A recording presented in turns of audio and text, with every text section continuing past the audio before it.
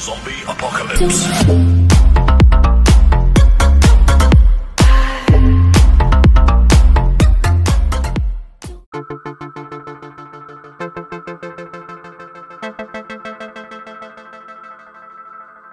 Đây là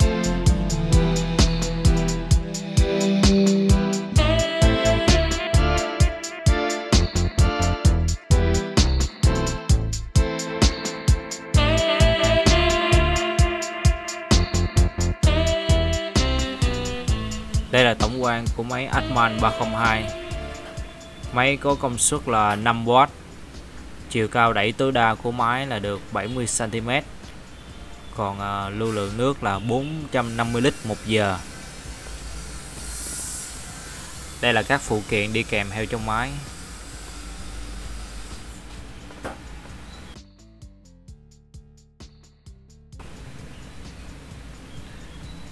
Ở phía bên trong máy nhà sản xuất sẽ tặng cho chúng ta rất là cái nhiều đầu cắm.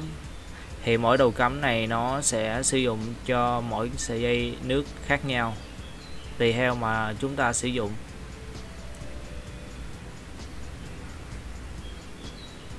Đây là tất cả các phụ kiện mà nhà sản xuất tặng.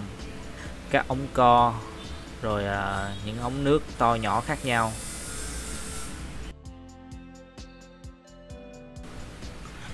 Khi các bạn mua sản phẩm Atman thì à, bên hông của máy Atman nó sẽ in logo, công suất và nguồn điện mà chúng ta sử dụng. Rất rõ ràng và chi tiết.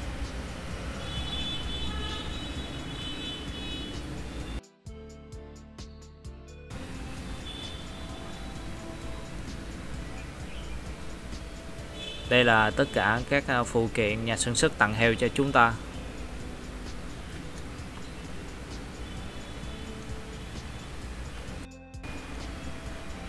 Đây là cái ống nối lớn nhất trong à, máy Atman 302 Đường kính của nó là 13mm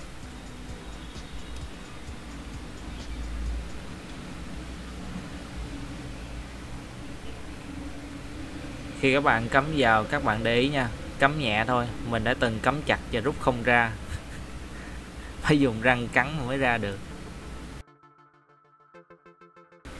Còn đây là cái đầu ống nước nhỏ hơn đường kính của nó 10mm dùng cho các sợi dây nước nhỏ.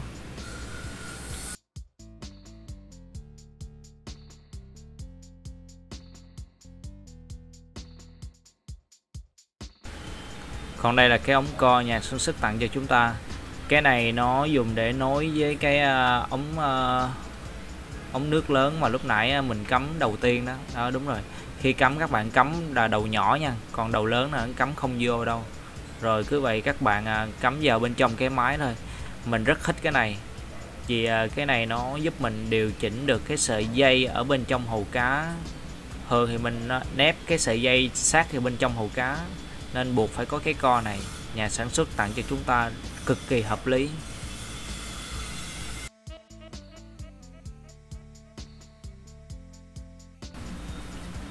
Còn đây là cái ống nước ờ, nhỏ hơn. Thì cái ống nước này nó vừa đẩy nước lên cao đồng thời nó sẽ lấy cái lượng oxy hòa tan vào chung cái luồng chảy của nước đưa vào hồ cá thích hợp cho việc nuôi những con cá nhỏ mà không cần lượng oxy nhiều. Đây là cái sợi dây nối của nó. Thì uh, nhà sản xuất tặng theo sợi bạn cắm vào cái đầu uh, chìa ra đó. Còn cái đầu đen kia chúng ta để phía trên mặt nước. Thì uh, để phía trên vậy nó mới rút oxy uh, đi chung với dòng chảy được nha. Còn các bạn để dưới mặt nước thì uh, coi như là không sử dụng được.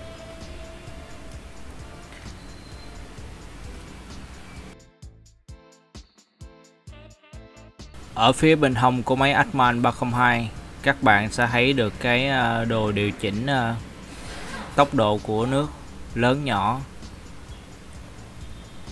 Thường thì mình để maximum, ít khi nào mình để nhỏ lắm.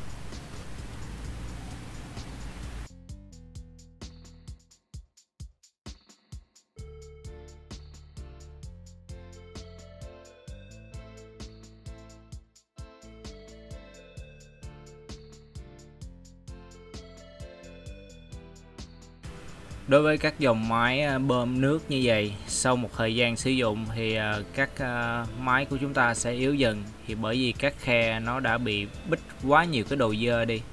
À, cứ chỗ nào có lỗ là chỗ đó nó sẽ bị bích dơ lại. Thì lúc này chúng ta cần phải vệ sinh máy. Chúng ta phải mở nó ra. À. đối với cái dòng máy Atman 302 phía dưới thân máy ờ, nhà sản xuất để một miếng lót nhỏ nó dùng để ngăn những cái đồ dơ hoặc là những cái ờ, rác rến hoặc là sợi tóc đồ nó sẽ cuốn vào bên trong máy motor. Thì khi tháo ra các bạn sẽ vệ sinh cái đó nha. Còn uh, quay về cái motor các bạn uh, kiểm tra xem nó có dơ hay không.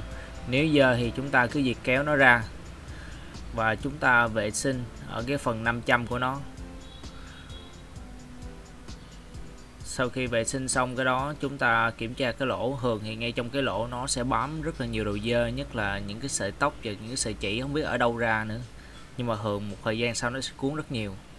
Sau khi vệ sinh xong thì chúng ta cứ đậy nắp lại thôi. Hạn chế cái việc ờ, chai dầu mỡ vào trong motor nha. Mình cảm thấy nó không ổn lắm đối với hồ cá. Tell me pretty lies, look me in the face. Tell me that you love me, even if it's fake.